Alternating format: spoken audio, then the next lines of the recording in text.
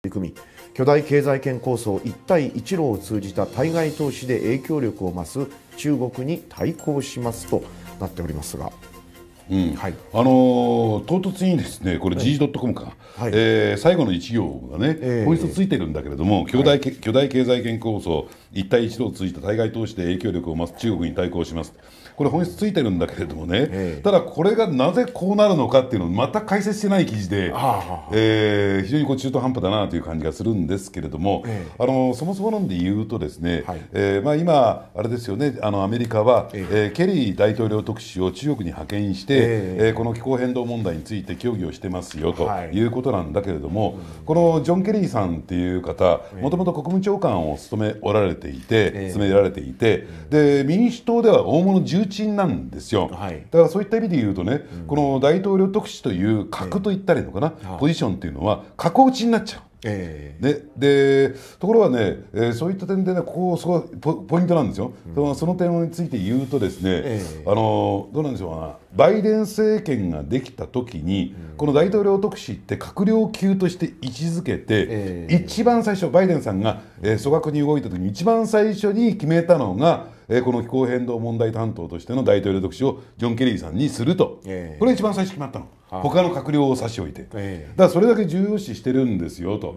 いうところ、うん、でも、えー、指名はしたけれども引き受けるかなどうか見てたわけですよ、えー、要するにさっき申し上げたように、ね、格落ちのポジションポストを、えー、引き受けるかなと思ったら非常に喜んで引き受けていると、でまあその意味するところというのは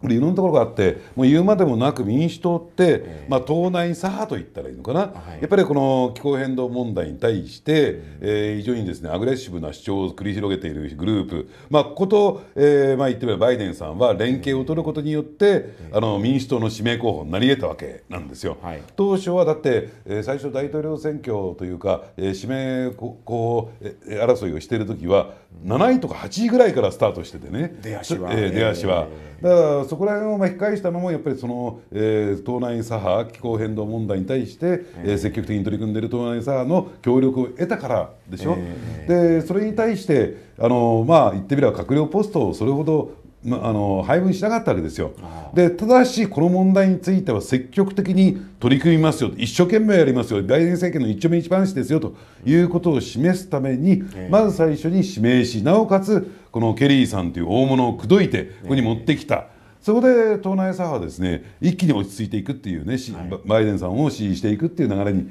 なったわけなんですね。うん、でそれが最初にで中国へ行った。そうするとこれを見るとね、えー、要するにさっきの日米首脳会談ではないけれども、うん、え中国とは激しくやり合っていくだけども、えー、その一方でテーブルの下でテーブルに積むのかね、握手するのみたいな見立てもできなくもないんだけども、はい、僕はねこれ用意周到に仕掛けられた中国包囲網の一環なんだなと。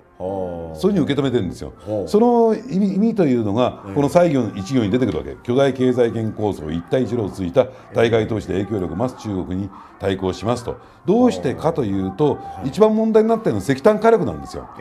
で確かに中国国内においては一部の省を除いてね石炭火力発電からの脱却を目指してますよ。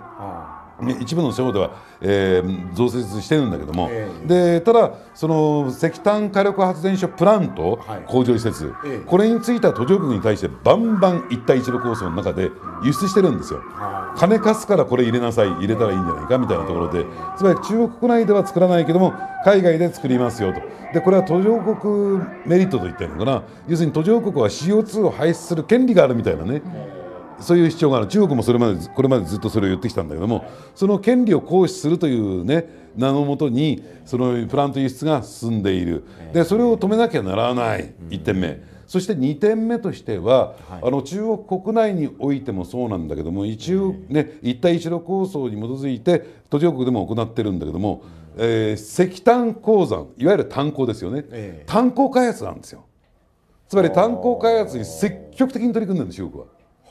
自国内でもそうだし、えー、途上国においてもそうなんだけども何のために炭鉱なんか開発するんですか？石炭火力の、えー、供給ですよ、えー、ね、それ以外ないんだから。うん、でもそこをね鎖を打ち込まないと、えー、この、ね、CO2 脱炭素っていうのは進んでいかないんですよ、はい、ただしここが一帯一路構想のある種の要だから、炭鉱と石炭火力プラント、ねでそこに対して要するに、えー、中国としてはどうなんだろうねその日米連携というか、えー、米中新冷戦というのは、で言葉上では表面上は受けて立つみたいな形になってるけども、なんとか回避したいんですよ。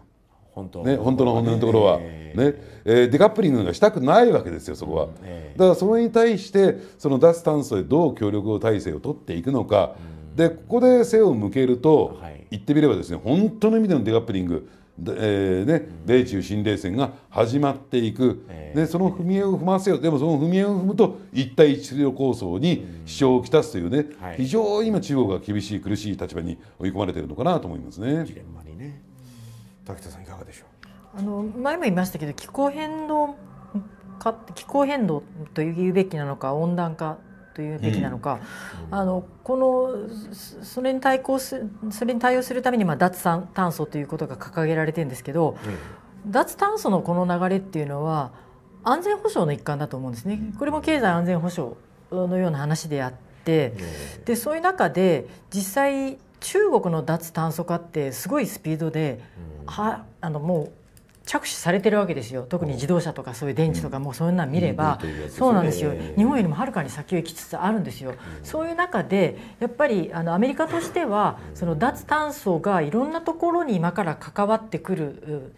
せあの世界になる中でそのルールメイキングルールメーカーとしてやっぱりアメリカがやっぱ主導権を持っていってておかなければ、えー、さっきのデジタル安全セキュリティとかじゃないけれどもはい、もう全部に関わってくると、でそういう中で日本もそこで一緒にアメリカとなって一緒になってルールメイキング側にいなければ、中国が作ったその統一規格、そういうルールなりに私たちは従っていかなきゃいけなくなるわけですよ。そうなるとあのもう本当にその中国が使っているものがもうね統一規格みたいになっちゃったら使わざるを得なくなるじゃないですか。ゲームのルールにね。そうなんですよ。はい、なのでそのためにも早い段階でやっぱ日米で組んでやらなきゃいけないんだけれども、日本はいかんせんそのさっきのデジタル安全保障じゃないけど全くダメなわけですよ。うん LINE とかにしたってサーバーが外国にある程度の あの国ですからね。もうそこからもう抜本的に変えていかなければこんなんアメリカにしてみれば日本なんて足手まといだって言われかねない。なのでこれもこれも本当あのそのミリタリーの安全保障とねあの相まってこれも急がなきゃいけないことと。であとその、えー、この第三国でのインフラ整備支援っていう話なんですけどね。安倍政権の時に質の良いインフラっていうのを相当唱えました。はいはいでいろんなところで、えー、総理がもうトップセールスで行って、えー、地下鉄高速鉄道もういろんなあのプロジェクトを勝ち取ってきたんですけど、はい、最近質の良いインフラ整備って聞かないでしょ、うんはい、菅政権になって。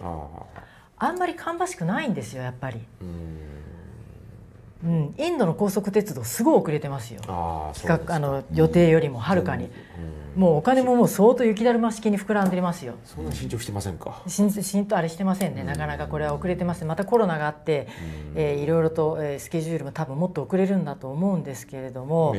ー、この質の高いインフラって、まあ、今回のこの脱炭素にしてもいろいろデジタルにしてもそうなんですけどね、やっぱ日本の場合は中国と違って民間企業に行かせるわけですよ。で民間で勝手にやってくれ勝手にやってくれってわけじゃないんだけども政府は口出すけれどもいろいろやるのは民間に任しちゃうんですよね。あとは投げっぱなし。そうなんですよ。だから民間がすごい困るわけですよ。何、かあった時にやっぱ特にインドとかああいうあの南アジアとか中東もそうですけど、えー、あのまともにこう進まないことがある中で本来ならば政府がもうちょっとその、えー、バックアップ、ね、そうバックアップをしなければいけないのに、そういうのが整ってないんですよ。はあなのでなので今海外に出てもこんなんやってられないって思ってる企業たくさんありますよ今。そね、そうなんです。やってられないんですよ。政府はそんな質のいいインフラとかいろいろ言うけれども、あの声はいい声かけはいいけど実態が伴わないわけですよ。出先としてはとんでもないわけですよこんな。なのでこれはやっぱり本当にあのまただ、ね、そうなんですよ、国家戦略としてやるんだったら、ね、外に出てる民間企業にも、やっぱ手厚い方じゃないけど、目配せしないと、それは中国は、昔はあの犯罪者を、はい、あのね海外のあのインフラプロジェクトに出してるとかね言われたじゃないですか、でもそれは管理は行き届くんですよ、変な話、ひどい話ですけれどもね。刑務所入るか海外行ってダム作るかみたいな。それは海外行った方がいいよみたいな話。で、戦争と変わらないですね。そうそうそう。なのでやっぱ日本はそういうところもしっかりやらないといけなくて本当最近でも思うのはもう政府と民間ってもうもう分けられないんですよ。今もう完全に全てもう官民一体、あのミリタリー安全保障もそうだし経済安全保障もそうだし、でこういう中でやっぱりこうメディアがこれをもうちょっとこうちゃんとそのじゅなんていうかなこれが重要なんですよっていうことを出していかないと、啓発というかそうなんですよ。徹底と言いますか。そう、で日米ね首脳会談の翌日のあの毎日と朝日の社説、はい要するに日本の、えーと、自主外交が必要だとかね、うん、自主的な動きが必要だとか言ってすげえ言ってるわけですよ。また自主ですそうそうまた彼らの言う自主っていうのは基本的にその米中の間に日本が立ってあのちゃんと取りなんか中を取り持ってとか言われなんだけど、私にしてみればその自主外交っていう言葉だけをとらとらまえればね